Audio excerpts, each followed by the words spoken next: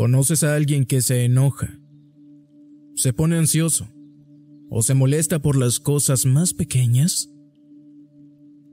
Muchas personas tienen problemas para controlar sus emociones, especialmente durante periodos de estrés e incertidumbre. Cuando algo no sale como quieren, se sienten abrumados por sentimientos extremos, como ira o angustia, transformando incluso los conflictos más pequeños en situaciones dañinas y embarazosas.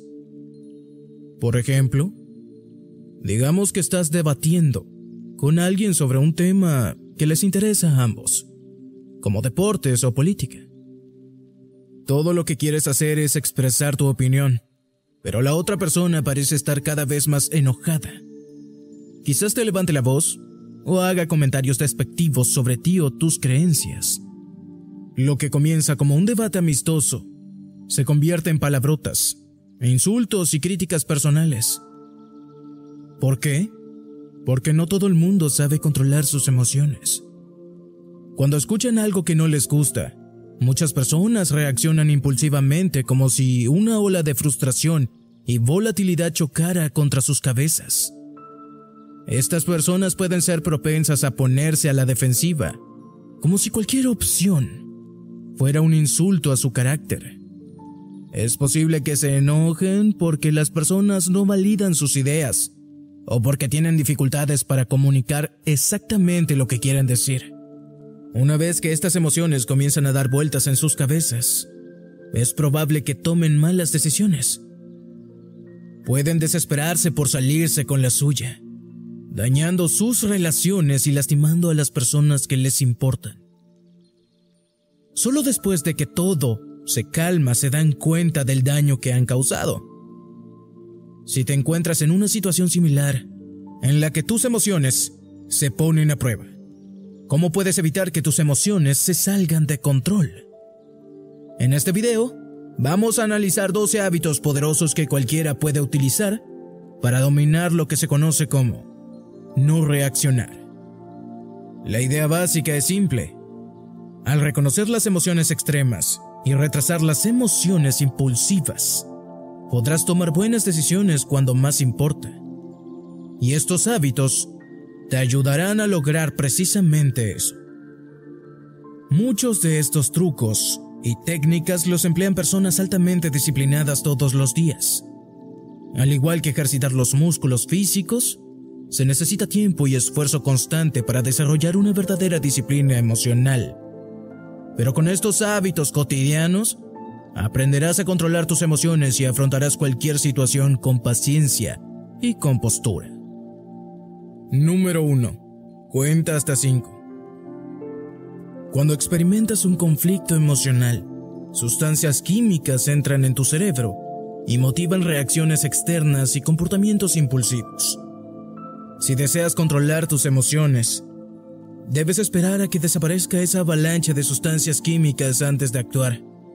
Un truco sencillo consiste en cerrar los ojos y contar hasta 5. Durante esos 5 segundos, las sustancias químicas de tu cerebro se ralentizarán lo suficiente como para ver tu situación con claridad. Suena sencillo, pero esos 5 segundos pueden ahorrarte años de impulsividad y arrepentimiento. Número 2. Encuentra tus raíces. Cuando sientes emociones fuertes, burbujeando en tu interior, Intenta buscar la raíz del problema. En otras palabras, pregúntate por qué podrías sentirte como te sientes. Si estás enojado, impulsivamente por algo que alguien dijo, pregúntate por qué su comentario provocó una reacción emocional tan fuerte. Este hábito cambia inmediatamente tu perspectiva, obligándote a dar un paso atrás y analizar tus emociones desde afuera.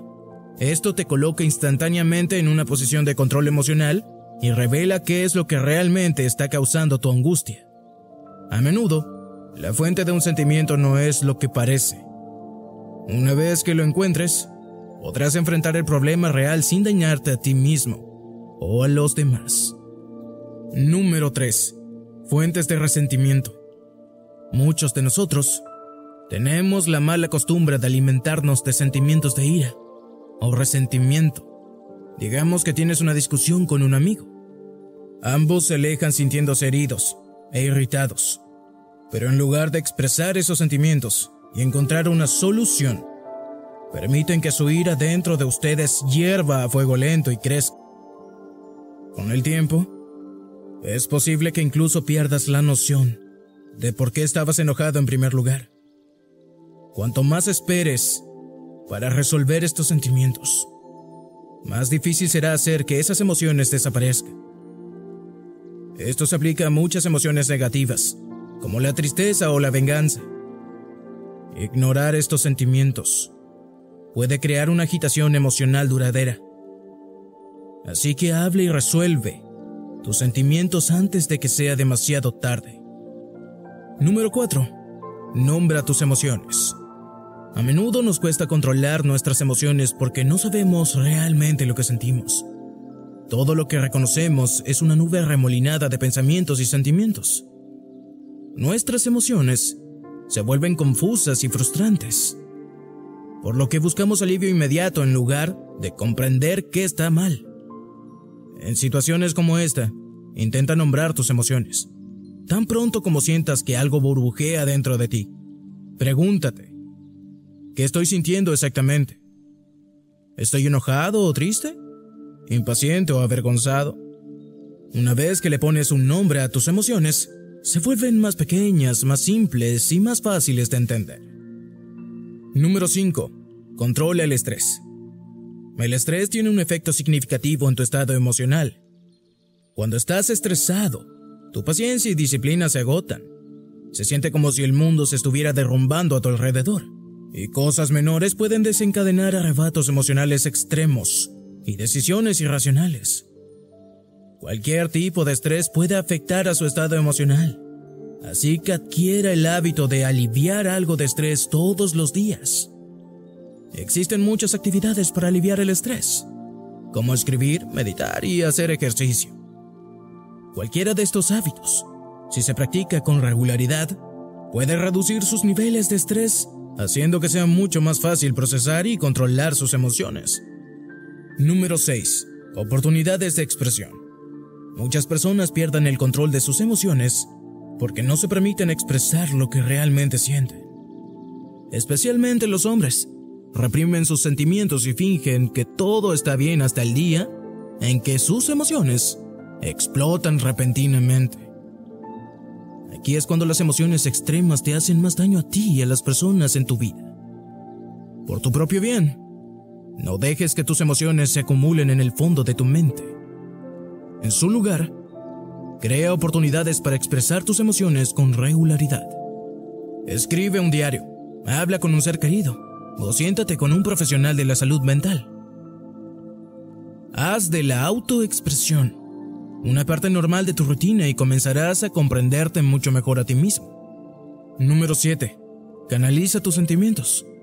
Hablar o escribir no son la única forma de expresar emociones. También puedes canalizar esos sentimientos en actividades como deportes físicos o pasatiempos creativos. Estas actividades ocupan tu mente y canalizan tu energía de una manera que aporta calma y claridad. Por ejemplo, si estás atrapado en una situación estresante, puedes intentar cantar a todo pulmón.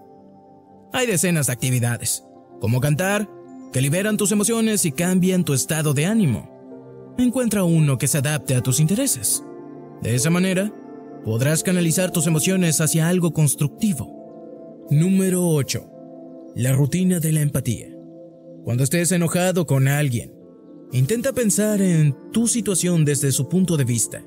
Es posible que sientas que te han hecho daño, pero es posible que la otra persona sienta lo mismo.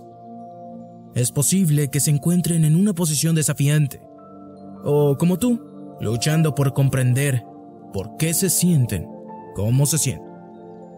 En cualquier caso, en cualquier caso, practicar la empatía puede neutralizar las emociones extremas y ayudarlos a encontrar puntos en común. Incluso si no estás activamente molesto, este es un gran hábito para expandir tu inteligencia emocional. Practicar la empatía te desafía a reflexionar sobre tus sentimientos, cuestionar tus suposiciones y abordar cada situación con un estado mental tranquilo y sereno. Número 9. posee tus emociones. ¿Te avergüenzas de tus emociones? Demasiadas personas evitan la responsabilidad por sus sentimientos genuinos porque les da vergüenza sentirlos. Si alguien te pregunta cómo te sientes, puedes fingir que todo está bien y ocultar tus emociones al mundo. Pero esto solo profundiza tu confusión emocional. Cuando te sientes abrumado, asume la responsabilidad de tus emociones porque no hay nada de vergonzoso en cómo te sientes. Número 10. El punto de ebullición. Incluso si aprendes a controlar tus emociones, es posible que estés demasiado molesto para retenerlas en tu interior. Algunas personas llaman a esto punto de ebullición, el momento justo antes de que tus sentimientos burbujeen y exploten. Si quieres controlar tus emociones, conoce tu punto de ebullición para que nunca hagas o digas algo de lo que te arrepientas. Cuando estés casi al límite, aléjate de la situación y tómate tu tiempo para calmarte. Número 11. Crea tu mantra. A veces cuando sientes emociones fuertes, te ayuda a recordar hacia qué estás trabajando o qué tipo de persona quieres ser. Un simple mantra o una frase significativa pueden ayudarte a encontrar la perspectiva y superar las emociones negativas como la ira o la frustración. Estos sentimientos pueden ser fuertes en el momento, pero cuando piensas en lo que realmente importa, es más fácil mantener el control. Puede que te lleve algún tiempo encontrar un mantra que sea único y especial para ti. Hay todo tipo de mantras, pero a menudo los mantras más poderosos son los que tú mismo creas. Unas cuantas repeticiones de esta frase significativa pueden aliviar el estrés, brindar claridad y recordarte lo que es realmente importante. Número 12. El poder de la respiración. Muchas personas disciplinadas han desarrollado una paciencia y una fuerza de voluntad increíble utilizando el simple poder de su respiración. Probablemente hayas oído hablar de ejercicios de respiración para aliviar el estrés o la ansiedad, pero ¿por qué la respiración afecta tu estado emocional?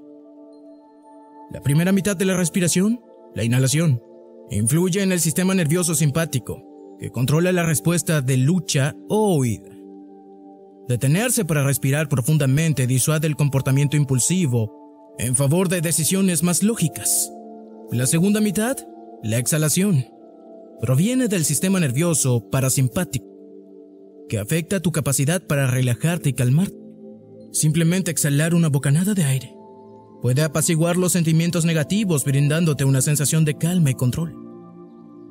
Siempre que tus emociones salgan de control, inhala y exhala profundamente. Este sencillo ejercicio puede ser todo lo que necesitas para controlar tus emociones y cambiar tu estado de ánimo.